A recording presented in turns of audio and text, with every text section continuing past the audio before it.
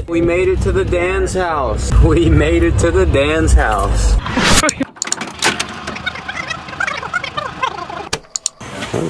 Oh, James just bought a quad. James is coffee. All right, yep. James is just quad shopping. He just bought these, picking out all of his options right now. He goes, Adam, what's your favorite color? I'm like, black. He's like, all right, I'll take black plastics. Adam, does yours have an oversized tank? No. Okay, I'll take the oversized tank. And you said you were gonna put Nerf cores on it too? Yeah.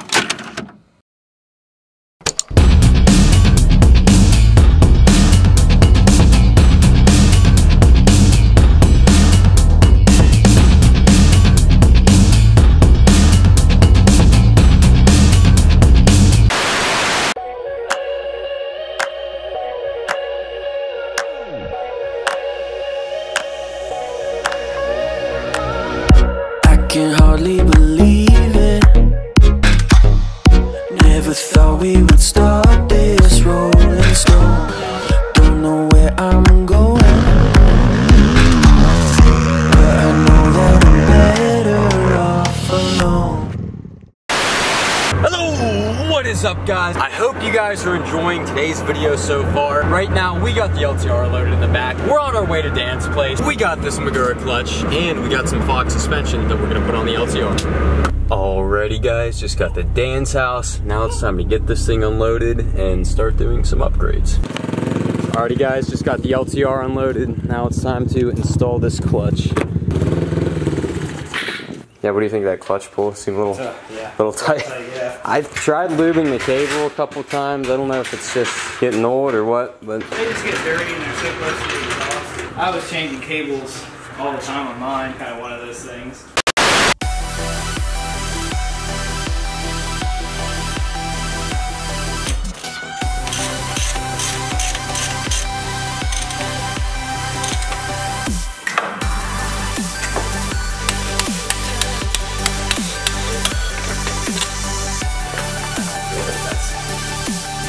One thing you can do, just pick that one up and pick that one up right off the bat.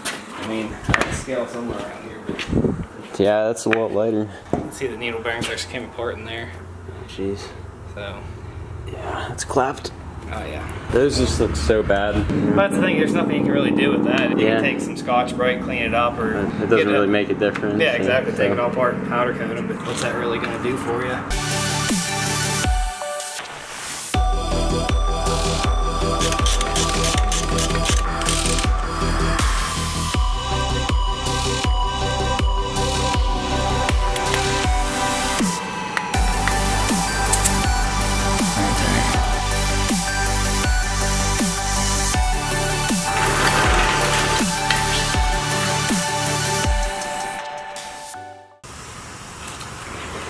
Want to jump on that real quick, Sure. maybe that might be staying right here. It already feels different from what I'm used to. The front's down a little bit. I'll put a little bit more air in the the front to bring them up a hair. It's about even right now. It's diving a little bit in the front, but ride height. Stand on or sit? That's it's fine. Like a half inch rake right now, so that should be fine for now. All right, so we just got the new Fox shocks on, all set up, and uh, yeah, up next is the clutch. I wish there was a way to show you guys how tight this feels. When you like a, a before uh, and after test. I was gonna say those fishing scales or something. Yeah, right. Like this is, yeah, with one finger, this is no bueno. Pretty much what we'll do is get the seat, cover, fuel pump, case saver, get all that stuff off. We're gonna run the line on this side, up here, and then up through there, so we can leave the front fenders on, but everything else has to go.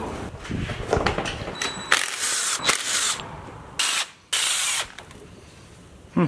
Oh wow, That's some mud. power washer didn't get in there. That might have something to do with your clutch not moving too. Yeah. Holy cow.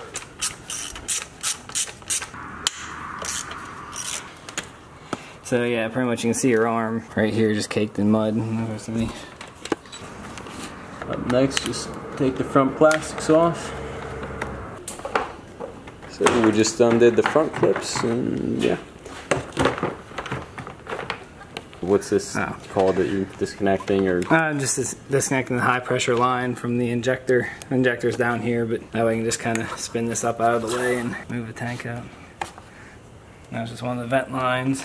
Dan just disconnected that for the fuel gauge. Clamp your lines, kids. We're just shutting off the fuel right here. You do that with the screwdriver.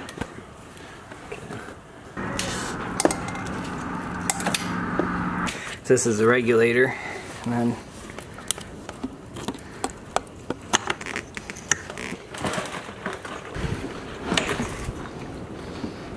Yeah, that's just nasty. your line that's on the pump. Okay. It's the one that goes to the bottom of the regulator. So we'll just pull those both down and out for now. Just give us room. Take that there cover off. So up next, we're just disconnecting the clutch cable, right? Yeah. Want to do some cleaning? The toothbrush. Yeah, so I just pulled this little little end off the cable there, push it back through out of the holder.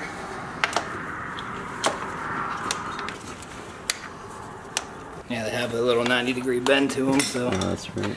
they hook pretty easily on everything else.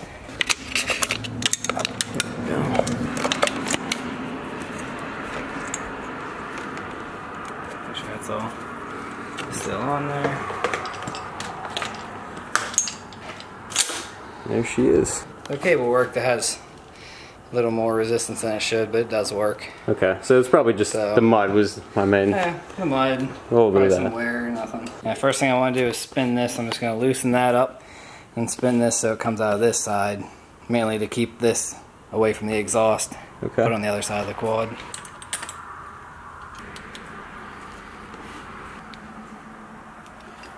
Let's try that for now. I just tried to do it without getting any air in the system. It was coming back this way, so I spun the line to come out this way. So when it's on there, we can route it on this side of the quad, away from the exhaust.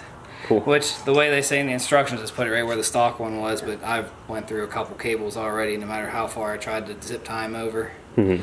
So what we'll have to do also is uh, for this little rod, I guess we'll call it. It doesn't fit down here whenever we have that end piece on.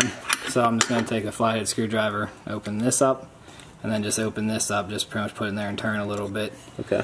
to uh, fit Right. that in there. And then also back here at that clamp, I'm going to open that up a little bit to fit this piece in there, which just goes over and sits there. So it's a little too tight Yeah. the way it is. So I just open up with a screwdriver, like I said, just put it in and turn it.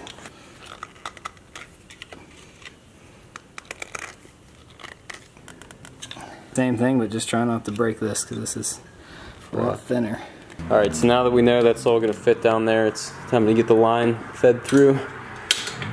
Let's just back up through the top bracket there and above the rad.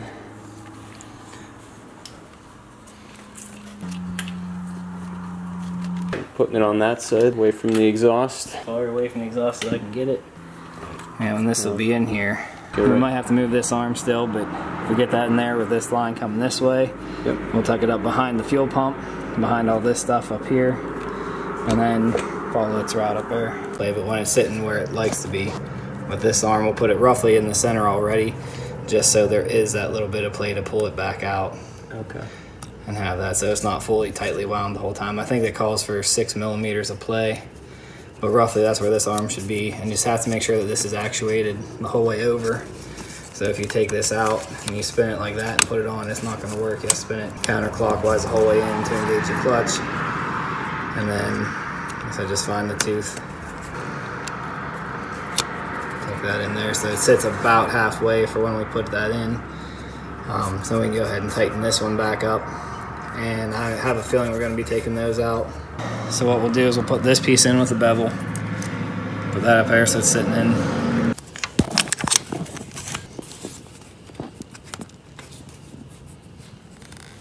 Yeah, so we'll clamp that back down a little bit before we're done. These two 10 millimeters. Take those out. We'll hook everything up as assembly and then just bolt those back down. Put it together. Yeah, exactly. They don't give you much working room. All right, so now that that's out, it's You can easily put it together. I'll go in. It's that piece we bent out, so that fits there. Put that back in.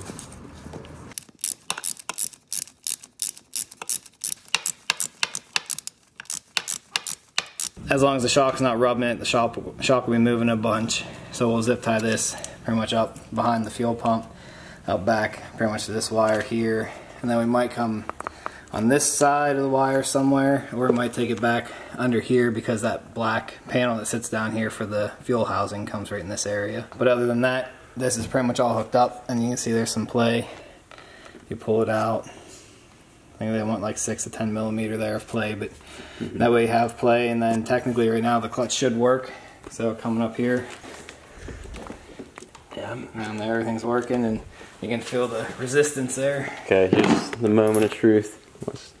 Oh, one finger, no problem. you blow on that. It'll, Yeah, I don't know it's if I'm more excited about that or the shocks. Whole new machine now. exactly. Die number one goes there. Keeps it away from the And shock. this- you have to watch out in the LTRs. This wire, a lot of people bolt the case saver back on and pinch, Oh, yeah. and that's just for your neutral light there. But yeah, so make sure you tuck that back down behind before you put that in there. The same with this one. This one has a little bit more clearance, but that one everybody seems to pinch those if you don't pay attention.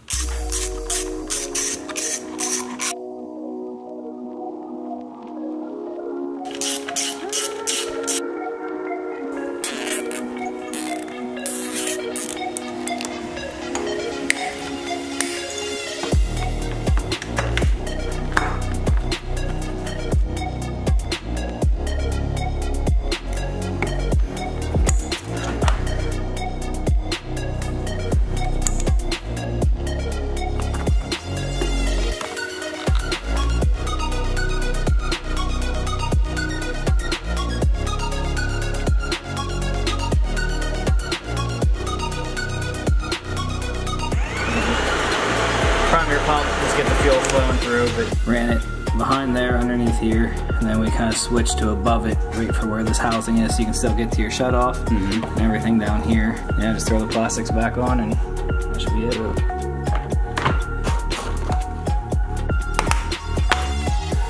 Yeah, that was definitely due.